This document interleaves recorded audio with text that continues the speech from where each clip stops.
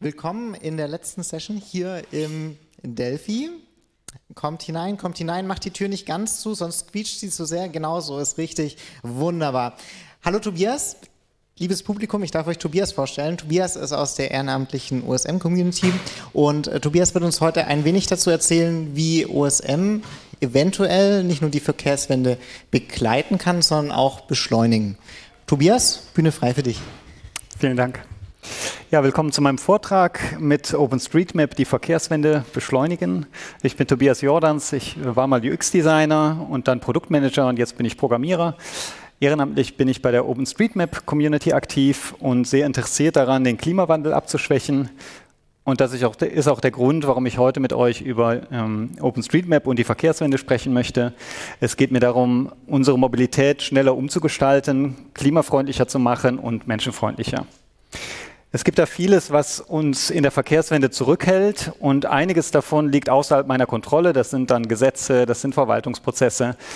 Aber, äh, und anderes ist auch schon gut besetzt. Das sind dann äh, aktivistische Sachen wie Mahnwachen, Demonstrationen. Aber es gibt auch einen Bereich, wo großer Mangel herrscht und wo wir als Community niedrigschwellig helfen können, und das sind Daten. Ähm, das können zum Beispiel sein, Daten äh, zu besorgen, um äh, fehlende Radnetze zu planen, also Daten für die Planung äh, ranzuholen. Das können sein, ähm, Daten äh, zu nutzen, um Analysen raus aus der Einzelmaßnahme hin zur Flächendenke zu bringen. Und das können Daten sein, um unsichtbare Mängel sichtbar zu machen.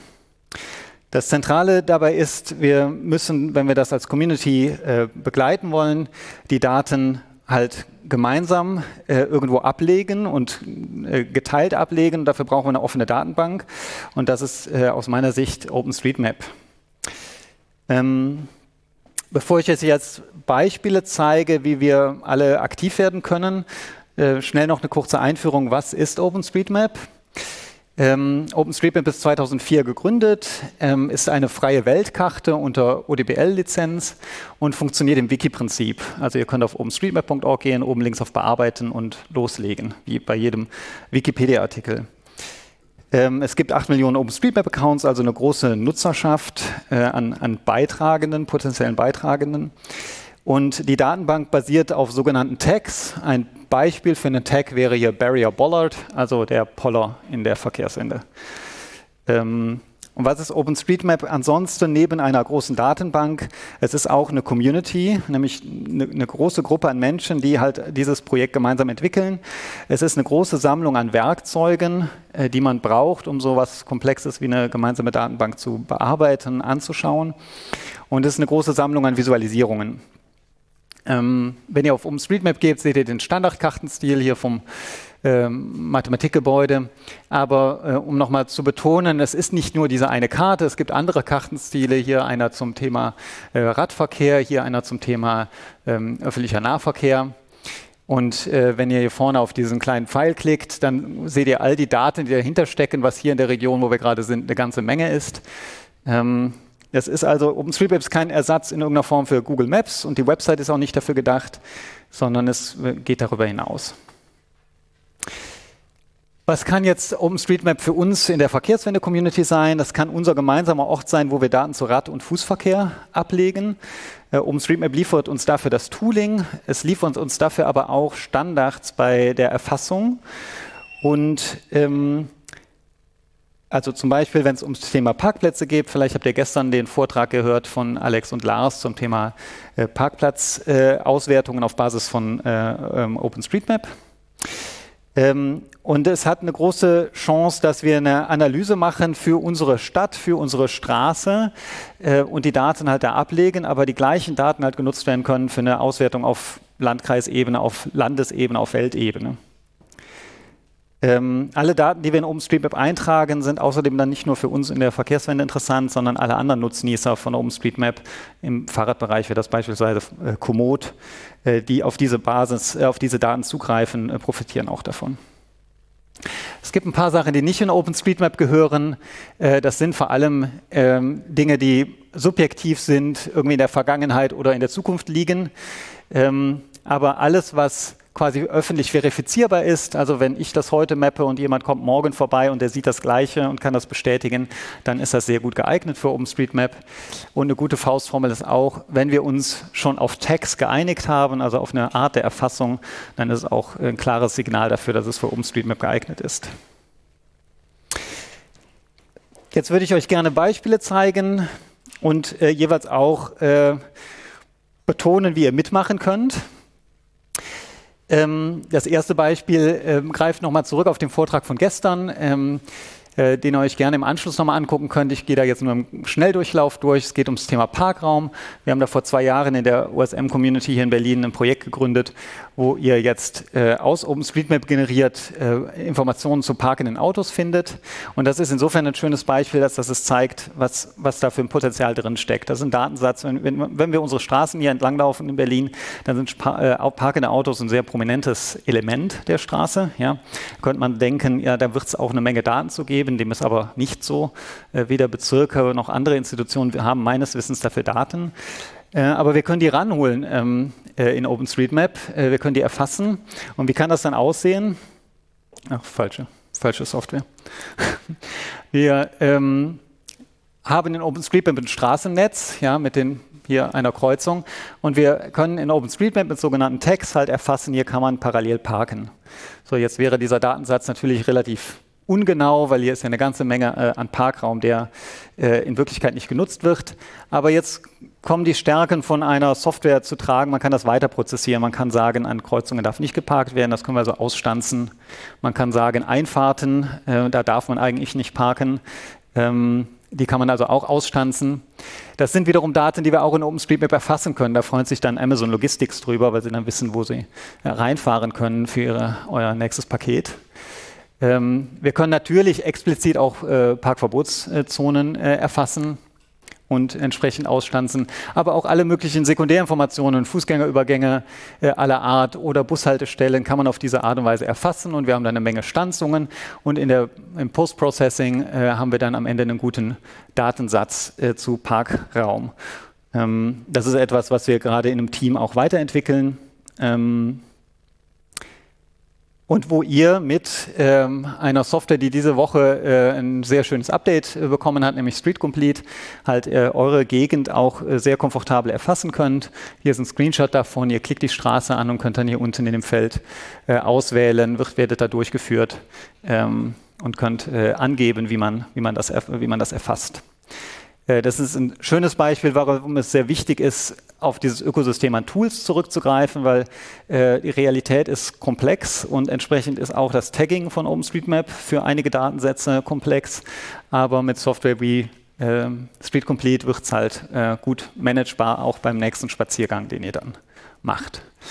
Äh, unter parkraum.osm Verkehrswende findet ihr noch mehr Informationen und wir haben da auch ein Meetup monatlich, wo wir uns über diese Themen austauschen. Jetzt muss ich mal meine Notizen wiederfinden. Das nächste Thema, was ich euch gerne zeigen möchte, ist Radnetzplanung. Ähm, ihr stellt euch mal vor, ihr seid eine Kleinstadt, eine Kommune, die möchte ein Radnetz äh, planen oder die möchte die Radinfrastruktur verbessern. Dafür brauchst du im besten Fall ein Radnetz, um strukturiert äh, planen zu können, wo welche Maßnahmen ergriffen werden. Ähm, und das ist für kleine Kommunen eine anspruchsvolle Sache. Da würde normalerweise ein Ingenieurbüro äh, beauftragt, das äh, dann für gutes Geld halt ein, ein Radnetz plant. Wir können da aber als Community äh, über OpenStreetMap eine ganze Menge sehr gute Daten liefern. Und das würde ich euch gerne jetzt mal zeigen. Hier sehen wir schon im ersten Bild, hier sind Orte, die kommen aus OpenStreetMap. Hier seht ihr die Flächen in Rot und in Blau, das sind gewerbliche und Wohngebiete.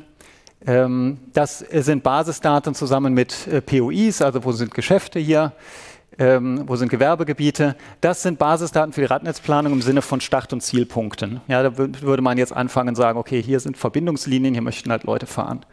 Dann kann man noch äh, weitere Daten aus OpenStreetMap einblenden, nämlich Barrieren für ein Netz, sei das eine Autobahn, eine, ähm, ein Fluss oder ein Flughafen. Also Dinge, wo ein Radnetz mal eher Schwierigkeiten hat, mal durchzukommen.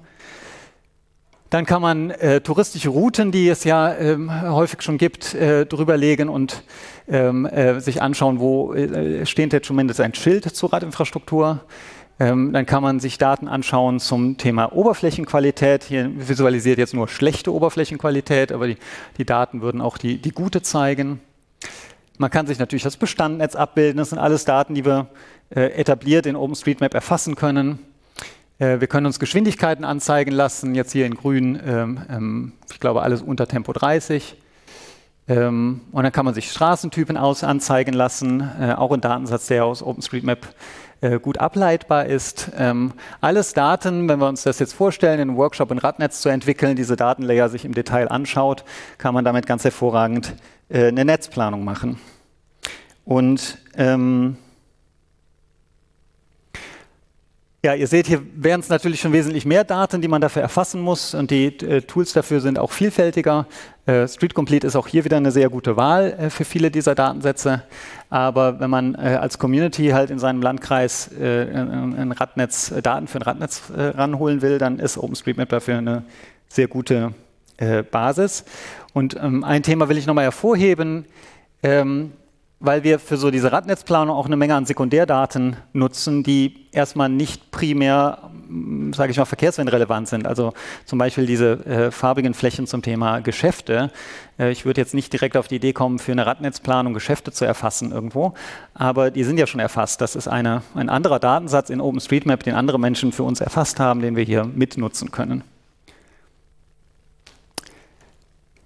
Ja, Tooling, ähm, Street Complete, wie gesagt, ist da wieder ein guter Kandidat, äh, aber auch der ID-Editor im Browser oder für iOS-Nutzer äh, Go Maps sind äh, Tools, die ich empfehlen kann. Es gibt noch weitere, aber äh, wenn ihr einsteigen wollt, äh, kann ich euch die ans Herz legen. Mein nächstes Beispiel ähm, betrifft äh, so diesen Wandel in der Denke, sowohl von uns als Aktivisten, aber auch von Menschen, die in der Verwaltung arbeiten, weg von Einzelmaßnahmen hin zu einem flächigen Denken, sage ich mal. Ähm, also Einzelmaßnahmen meine ich, ähm, eine Kreuzung sicher machen, gegenüber halt alle Kreuzungen im Kiez angucken. Ich habe hier ein Beispiel mitgebracht, äh, das Friedrichshain-Kreuzberg zusammen mit Fixmer Berlin gemacht hat. Äh, da geht es ums Thema Schulwegsicherheit. Ähm, das ist insofern anders als viele andere Schulwegsicherheitsprojekte, als dass sie halt den, den Spieß umgedreht haben. Es geht nicht darum, wie passt sich das Kind dem Auto an und dem, findet den sicheren Weg, sondern äh, wo wohnen denn die Kinder, wo sind die Schulen und wo würde denn der Routing-Algorithmus den optimalen Weg berechnen? Und das kann man sich dann halt anschauen. Wo sind Flächen, die besonders viel dann durchlaufen würden? Wo gibt es schon Infrastruktur wie Ampeln oder Zebrastreifen, die eine gewisse Sicherheit geben? Wo, gibt's, äh, wo fehlen die Infrastruktur? Und dann kann man halt anfangen, seine ähm, ja, Unterhaltungen erstmal zu äh, gewichten. Man kann das nutzen als Planer, um in die Unterhaltung zu gehen mit äh, ähm, Anwohnern und, und Schulen. Aber man kann natürlich auch ähm, äh, insgesamt seine Umsetzungsplanung dadurch beschleunigen. Im besten Fall hat man irgendwann einen Regelplan und muss nicht jede Kreuzung einzeln gestalten, sondern kann da ein Standardverfahren anwenden. Ein weiteres Beispiel wäre ähm, ähm eine Auswertung, die äh, Alex mal äh, nebenbei gemacht hat. Wir haben sehr detailliert in ähm, in Neukölln äh, äh, das Fußwegenetz erfasst. Und sobald man solche Daten mal hat, kann man natürlich auch Dinge sichtbar machen, die sonst eher unsichtbar sind. Hier geht es um das Thema äh, Qualität von äh, äh, der, der, Gehwege, der Oberflächenqualität und Qualität von Kreuzungen. Und äh, da könnte man noch eine Menge weiter draus machen, ähm, ähm, weil wir halt die Daten jetzt gemeinsam vorliegen haben und eine Analyse, die wir hier einmal gestalten, kann auch der nächste Ort wieder nutzen. Wieder Thema mitmachen. Was brauchen wir, um solche Sachen zu machen? Wir brauchen ein gutes Gehwegenetz. Das ist etwas, was in OpenStreetMap noch nicht so etabliert ist, äh, aber was ähm, durchaus, ähm, was man durchaus erfassen kann. Ähm, achso, wir brauchen ein gutes Fußwegenetz so und wir brauchen dabei die Gehwegeübergänge. So. Wir brauchen Daten zu Schulen. Da gibt es von MapComplete einen eigenen Editor, nur um, um Schuldaten gut zu erfassen. Äh, Daten zur Beleuchtung sind da auch interessant. Ja, Nächstes Thema, äh, Fahrradständer. Ähm, Fahrradständer ist erstmal ein Datensatz, der vielleicht ein bisschen langweilig klingt. Ähm, aber wenn man sich Fahrradständer so aus der Verkehrswende anguckt und strategisch einsetzt, wie hier in diesem Beispiel, dann haben sie zwei große Vorteile. Also zum einen bringen sie Sichtbarkeit des Fahrrads ins öffentliche Straßenland und zum zweiten schützen sie hier eine Kreuzung, äh, die Sichtachse sehr effektiv. Ähm, man könnte auch da wieder glauben, dazu muss es doch Daten geben, aber auch da ist unsere Erfahrung ähm, nur punktuell, nur äh, nicht, nicht in der Fläche. Es gibt hier so ein schönes Beispiel, dass äh, niemand weiß, wie viele Fahrradbügel in der Stadt überhaupt vorhanden sind. Ähm, das ist, äh, dieses Problem haben auch andere. Es gibt hier die Infostelle Radparken am Bahnhof, ähm, die unter die unter radparken.info ein Projekt gemacht hat, wo sie nicht mit OpenStreetMap, aber losgelöst ähm, die Community aufgefordert hat, in der Umgebung des Bahnhofes Fahrradbügel zu ähm, kartieren oder die Daten zu verbessern, weil halt hier auch, also es, äh, auch, auch eine, eine Datengrundlage fehlt, um äh, auch da wieder eine Gewichtung vorzunehmen, mit welchem Bahnhof muss ich eigentlich als erstes sprechen, wo ist der Bedarf am größten ähm, und wo gibt es welche Infrastruktur. Ein anderes Projekt ist hier ähm, Radbügel Aachen, ähm, wo ähm, eigentlich zwei andere Dinge passieren. Nämlich einmal können Bürger einen, einen, einen, Bedarf melden und Planerinnen können dann darstellen, was sie gebaut haben. Aber hier können wir uns wieder sehr gut vorstellen, finde ich, wenn es dann einen guten Datensatz zu Radbügeln gibt, dann kann das die Planungsprozesse beschleunigen, äh, weil man nicht mehr um jede Kreuzung, äh, äh, jedes Gebiet einzeln ablaufen muss, um zu sehen, ob da nicht um die Ecke nochmal wieder was steht. Äh, das BB-Navi hat eine schöne Funktion, da kann man sich direkt zum Radbügel äh, routen lassen. Ein Beispiel für, ähm, für die sekundären Nutzen, der dann entsteht. Ja. Ähm, genau, so wie könnt ihr mitmachen. Also auch hier wieder Street Complete hat einen Quest zu. Äh, aber äh, da der Datensatz von Fahrradbügeln ähm, gar nicht so kompliziert ist, kann man das gut auch mit dem ID-Editor oder mit GoMap machen. Map Complete hat ein eigenes Theme. Ihr könnt hier reinklicken, was Neues anlegen oder die bestehenden ergänzen. Und ähm, ein wichtiger Faktor dabei ist auch immer dann das Thema halt wie, wie Vollständigkeit. Ja, wie, wie, viel habe ich sie denn jetzt alle in meinem Kiez, in meiner Umgebung? Und dafür haben wir ein Tool gebaut in der Community, das äh, Open Data Datensätze abgleicht. Also hier seht ihr die roten Bügel, die sind noch nicht in OpenStreetMap wahrscheinlich. Wahrscheinlich sind sie da. Das gilt es halt zu kontrollieren. Alle anderen haben wir schon eingetragen. Äh, und das kann einem sehr helfen, den nächsten Spaziergang dann zu richten. Äh, wenn ihr also OpenStreetMap, äh, wenn ihr Open Data Sätze dazu findet, meldet euch gerne und das äh, können wir damit abgleichen.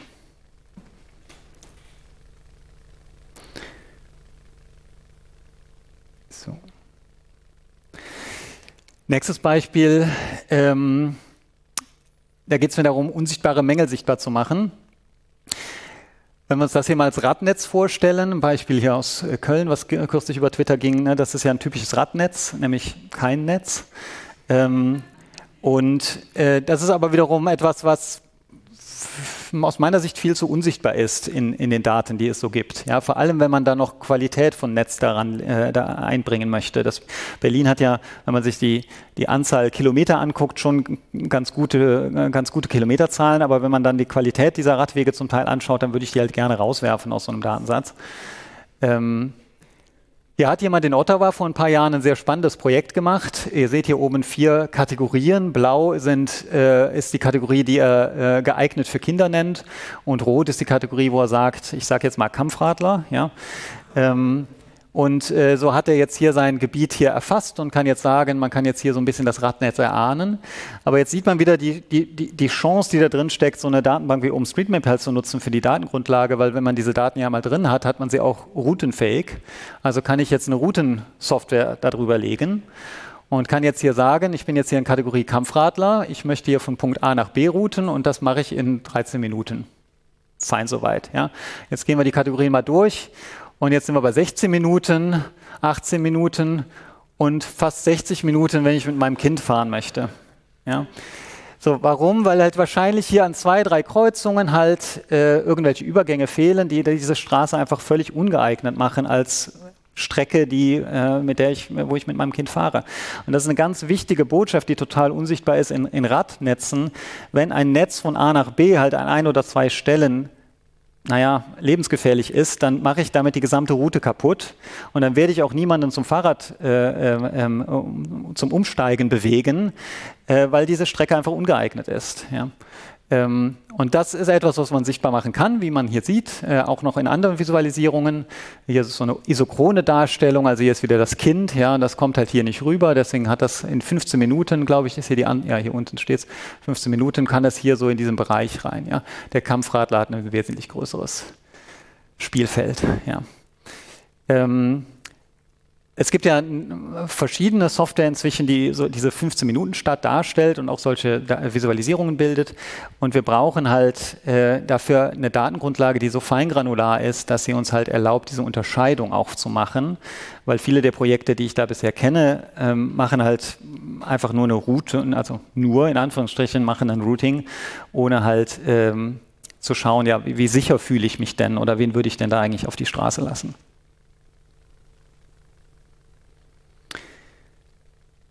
Ähm, in Berlin gab es oder gibt es auch so ein Projekt, den Happy Bike Index von äh, Fixmer Berlin. Ähm, inzwischen ist diese Ansicht, die ihr hier seht, nicht mehr so online, weil die Datenbasis fehlt. Ähm, das ist so eins um, der nächsten großen Projekte für mich, dass wir in Berlin halt äh, wirklich auch im, äh, über OpenStreetMap die Daten ranholen und äh, sowas dann auch wirklich darstellen können. Ähm, dafür braucht es eine durchaus detaillierten Datensatz. Also wir haben das mal, dieses Projekt von Ottawa, einfach mal laufen lassen in Berlin und irgendwie ist halt Berlin grün und das entspricht nicht meinem äh, Gefühl im Straßenland. Ähm, und ich vermute, dass es auch daran liegt, dass einfach die typische Straße, die typische Wohnstraße in Ottawa hat eine andere Breite, andere Parksituation, als wir das hier in Berlin haben. Also wir brauchen Daten, die zum Beispiel ausdrücken können, ob das eine Protected Bike Lane ist und auf welche Art sie protected ist. Wir brauchen im besten Fall Daten zur Radgeometrie. Wie oft werde ich hier wieder um Bäume oder Pumpen äh, äh, geschwenkt, äh, geleitet. Ähm, und dann natürlich solche Standarddatensätze zu Breite, ähm, äh, Parkplätzen, Spuren, Höchstgeschwindigkeiten.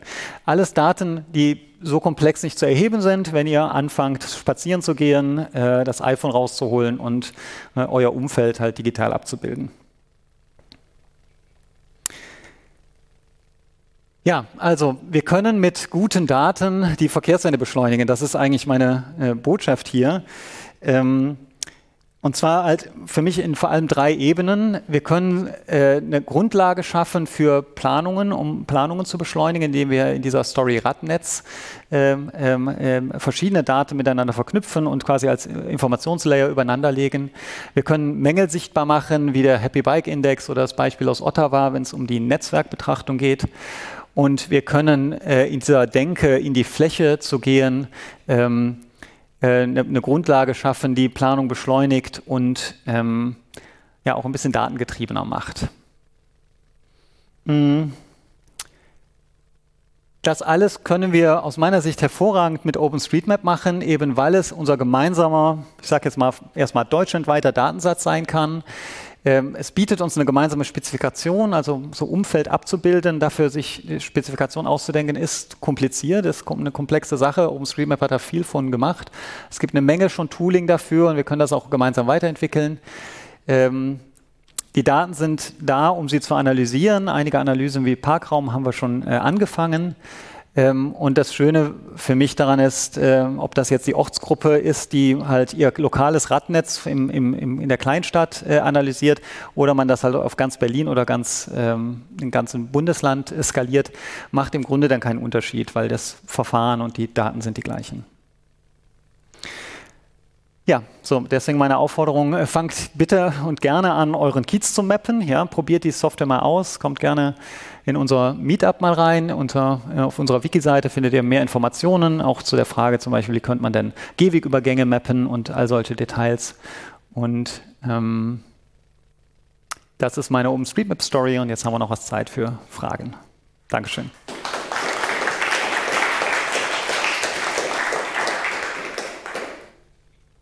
Vielen Dank, Tobias. Ähm, ich finde es ja super spannend, dass man da auch immer das selber mitmachen kann. Und ich schaue mir Street Complete auf jeden Fall mal an.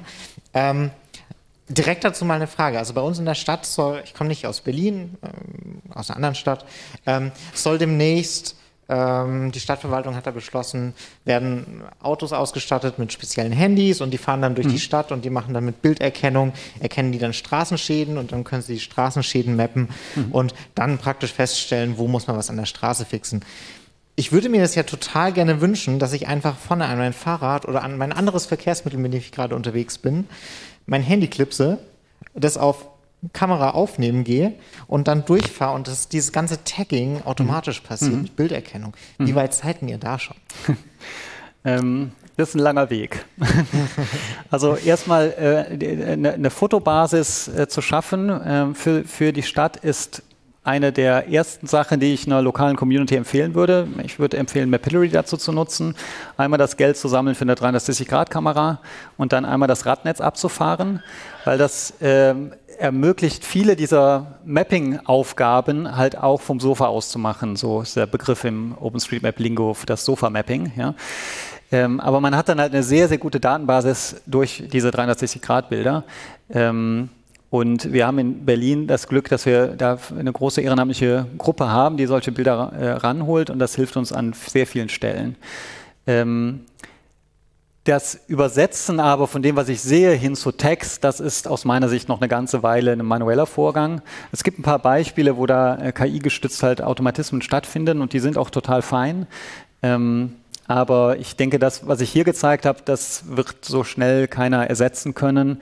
Ähm, und die Chance, die wir ja halt haben, ist ähm, immer halt auch den, den, den, manuellen Prüfprozess halt mit drin zu haben. Ja. Genau, vielleicht noch eine Ergänzung. Eine, eine Chance, die OpenStreetMap hat im Vergleich zu vielen dieser Einmalbefahrungen, ist halt ähm, ein kontinuierlichen Update-Prozess. Ja, also so werden wir das auch für dieses Beispiel des, äh, des Parkraums äh, bauen. Äh, wenn ihr jetzt losgeht und euren Kiez hier mappt, dann ähm, wird morgen halt der neue Datensatz prozessiert sein und wenn ihr da eine neue Ausfahrt gemappt habt, dann ist halt da jetzt kein parkendes Auto mehr. Ja? Und das ist halt ein, eine, diese, dieser, dieser, diese ständige Aktualisierung und dieser klare, einfache Aktualisierungsprozess, der dahinter steckt, ist etwas, was meines Wissens keine Verwaltung und äh, keine andere Software gerade mitbietet. Ähm, was total wichtig ist. Alles klar, Dankeschön. Gibt es denn Fragen an Tobias?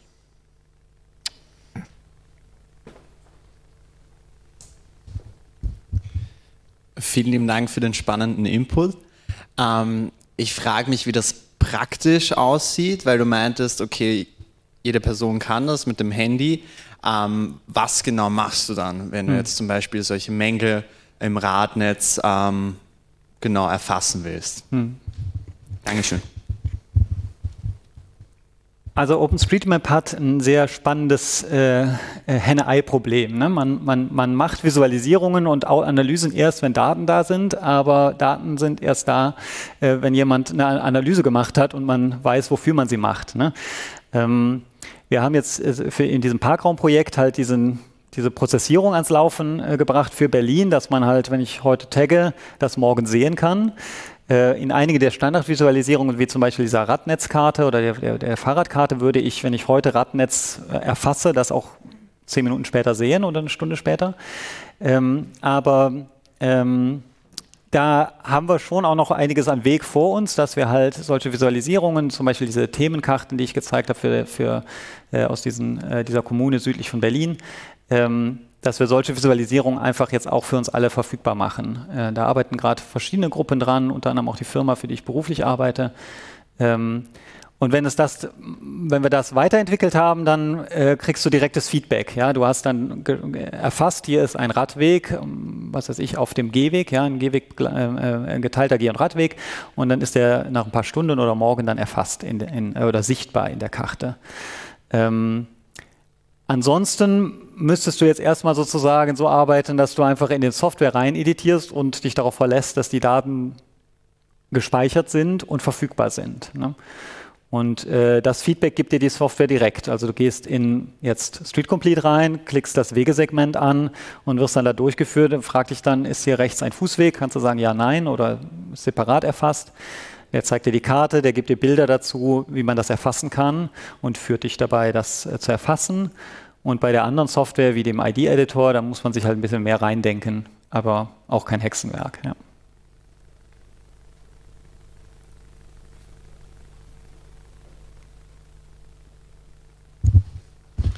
Ja, erstmal auch vielen Dank von meiner Seite. Ähm, wie groß ist denn das Interesse von Städten selber, ähm, OpenStreetMap jetzt für ihren Bedarf zu nutzen? Also ich ähm, komme aus Hamburg, da gibt es irgendwie Dataport und da ist nur irgendwie alle Restriktionen immer manchmal recht äh, schwer nachvollziehbar. Genau, hätte mich einfach mal mhm. interessiert, auch gerade was die Verfügbarkeiten eurer Services angeht, zum Beispiel. Ich glaube, um an den Punkt zu kommen, dass zum Beispiel auch Verwaltungsmitarbeiter offiziell auf die Daten zugreifen, dass ähm, das sind noch ein, zwei Schritte mehr zu gehen. Ne? Da kommt man in die Fragestellung, wie aktuell sind die Daten, wie vollständig sind die Daten und die zu beantworten ähm, erfordert wieder noch mehr Prozessierung und mehr Visualisierung. Ähm, aber ich weiß, dass inoffiziell äh, sehr gerne auch mit OpenStreetMap-Daten gearbeitet wird, weil inoffiziell ähm, haben viele Verwaltungskolleginnen und Kollegen da ja nahezu, also die haben nur verschiedene Datensätze in ihrem offiziellen ähm, äh, offiziell zur Verfügung, die verschiedenen zu, äh, verschiedene Altersstufen haben, ja, und auf verschiedene Arten falsch sind, sage ich mal. Ne? Und ähm, dann greift man natürlich gerne auch auf OpenStreetMap-Daten zu. Ähm, also die Bereitschaft, glaube ich, ist schon da, aber um es wirklich offiziell zu machen, muss noch mehr Tooling auch ran. Ja.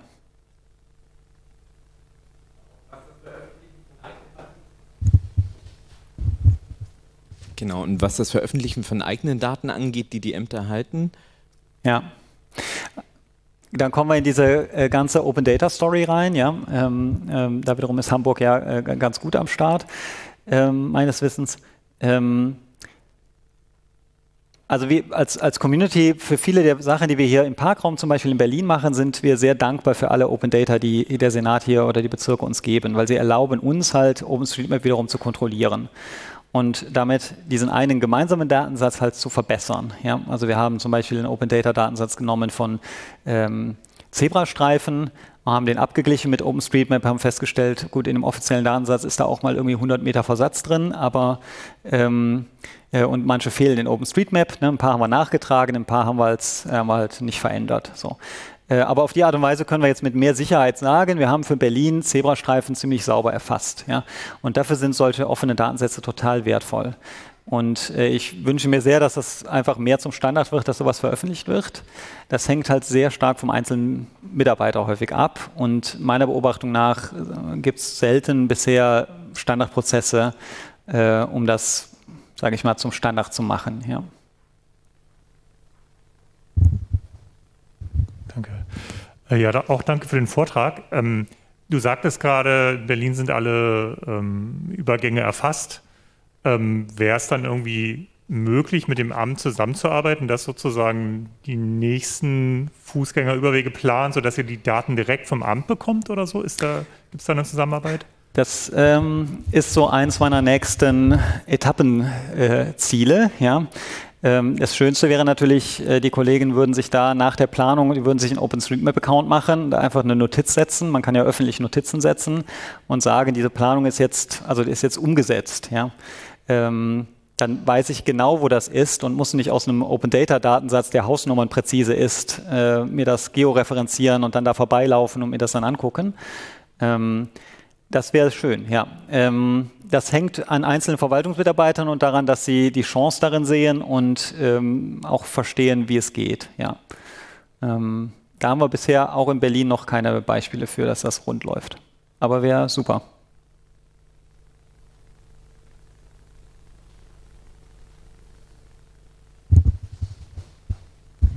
Äh, ja, danke schön. Ähm, ich habe schon öfter mit OSM-Daten gearbeitet und finde es super und habe jetzt auch endlich mal Lust, äh, selber dazu beizutragen. Äh, so für mich als bisher Außenstehende habe ich die OpenStreetMap-Community bisher sehr als ja, weiß und männlich ähm, gesehen. Ähm, mich würde interessieren, was du als Insider dazu sagst und was es vielleicht auch innerhalb der Community für Bestrebungen gibt, ähm, ja, die Menschen, die dazu beitragen, irgendwie diverser zu machen. Und ähm, ja, weil wir ja auch in dem Ottawa Beispiel gesehen haben, gerade für Kinder, die haben spezifische Bedürfnisse und so geht es ja, ja vielen Gruppen. Ähm, das würde mich noch ein bisschen interessieren. Mhm. Ähm, ich weiß, dass es auf, sage ich mal, weltweiter Ebene in der OpenStreetMap-Community da äh, Projekte gibt, ähm, die ähm, die adressieren, dass es so ist, wie du sagst, nämlich äh, viel männlich, viel weiß.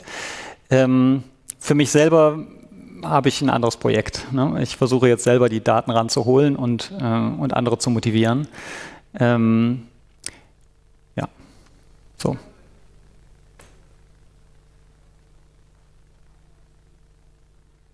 Nee, wir haben kein dediziertes Projekt, das sich damit in Berlin beschäftigt. Ja.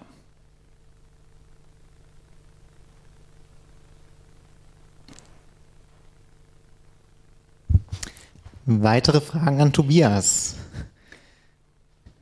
Da kommen noch Nachzügler. Habt ihr Fragen an Tobias? Nein. Ihr möchtet aber bestimmt bei OpenStreetMap mitmachen. Jetzt gehen sie wieder raus. Okay, ähm, jetzt hast du noch eine Chance, einen Werbeblock zu machen. Oh, das war ein kompletter Werbeblock gerade.